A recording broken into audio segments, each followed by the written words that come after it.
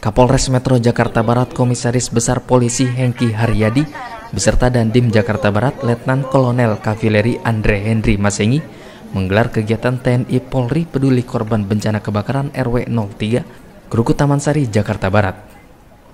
Sebagai bentuk empati TNI Polri atas musibah tersebut, Kapolres Metro Jakarta Barat memberikan bantuan berupa sembako kepada korban musibah kebakaran, juga menghadirkan pelayanan masyarakat di posko yang didirikan TNI Polri yang diperuntukkan untuk korban kebakaran tersebut. Selain itu, Kapolres juga menghadirkan mobil SIM dan STNK keliling. Bantuan-bantuan tersebut merupakan bentuk kepedulian TNI Polri kepada warga yang tertimpa musibah kebakaran tersebut. Dalam kesempatan tersebut, turut hadir juga pejabat utama Polres Metro Jakarta Barat, Ketua Bayangkari dan Ketua Persit Jakarta Barat, dan Kapolsek Metro Taman Sari beserta jajarannya. Di depan posko TNI Polri, kita selama ini melaksanakan layanan penyaluran dan hari ini kita siapkan sembako untuk ibu-ibu semua ya.